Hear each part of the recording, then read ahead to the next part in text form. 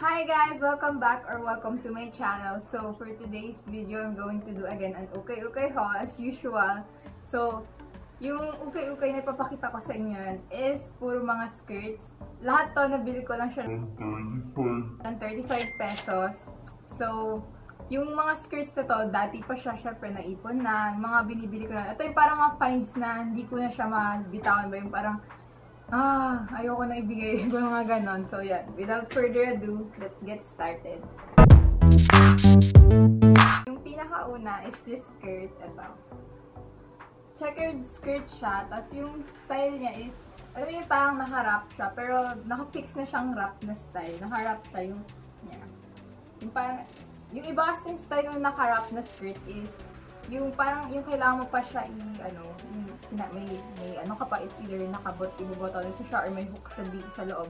Eto, naka-fix na siya, is, which is nakatahi na siya dito. Ah, yan.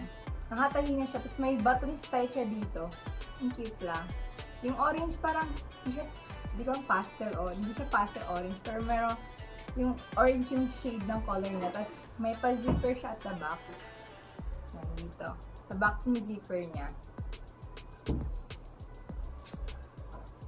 Tapos eto, ang may short ano na, story lane ng tayo bigla ng paldang to. So eto, sinuot ko to sa school. Hindi ko pa siya, nung binili ko, wala akong idea or anything na kung saan ko siya susuot. Tapos biglang nagkaroon ng parang yung, di ba, uso sa school natin yung parang iba yung magiging student teacher, gano'n. So, yun, doon ko siya nasuot ng student teacher ako. Tapos, sakto yung parang yung style niya, parang nabibigay sa'yo ng vibe na parang ang elegante mo tingnan, yung karespeto-respeto ka. so, yun, yun lang. Share ko lang sa yung story niya.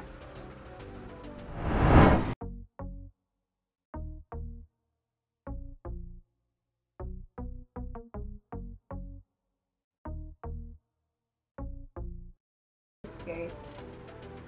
Ito, parang ito na yung pang isa sa pinakamatagal sa aking skirt. Noon pa, mga 13 years na ata sa 3 years. Pero hindi ko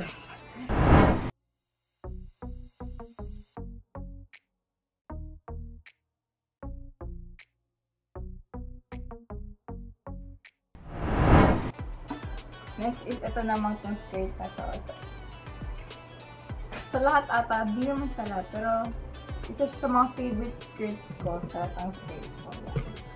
Skirt rin siya, yung garterize siya, yung sa taas niya, garterize. Tapos pleated skirt. Tapos sa loob, may layer siya ng thin na blue na ano, na tela rin. Tapos checkered rin yung style niya, syempre. Gaya ng iba. Hindi naman halatang mahilig akong checkered, diba? Char. Pero mahilig akong checkered, kaya ganyan yan.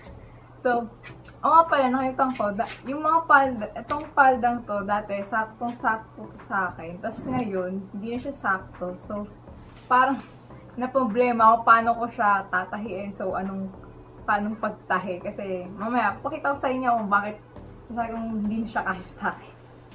Malalaman niyo mamaya.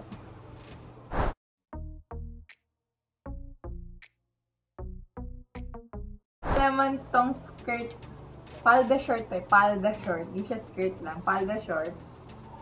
Tapos, ito naman, may zipper to sa gilidan. Tapos, may lagyanan siya ng belt dito sa... May lagyan siyang belt. Yung shirt ko kung sakaling maluwag. Tapos, ang gusto ko rin dito, garterize yung back niya. Ano. Garterize. Checkered rin siya. Tapos, color gray. Tapos, yung sa harap niya, cute rin yung detail na sa harapan. Gusto ko tong part na to yan. Parang nanggaganyan. May ganun siyang style. Ayan.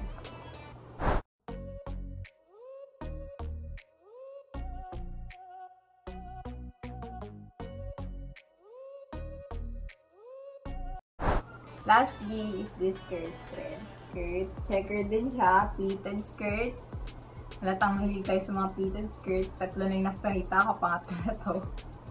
Tapos, ang zipper na to nasa gilidan din. Ayan. Tapos, ito, may black layer siya sa ilalim. Matipis lang naman. Yan. Tapos, may lagyan siyang belt. Ito, isa rin to sa maluwag sa akin. Naman maluwag. Makikita niyo talaga kung gaano kalaki yung agad yung parang space na sobra niya sa akin mamaya. that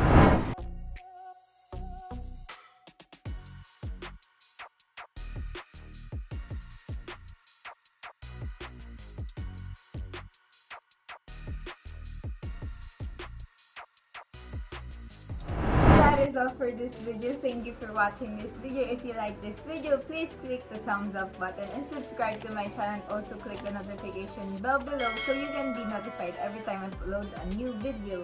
Bye!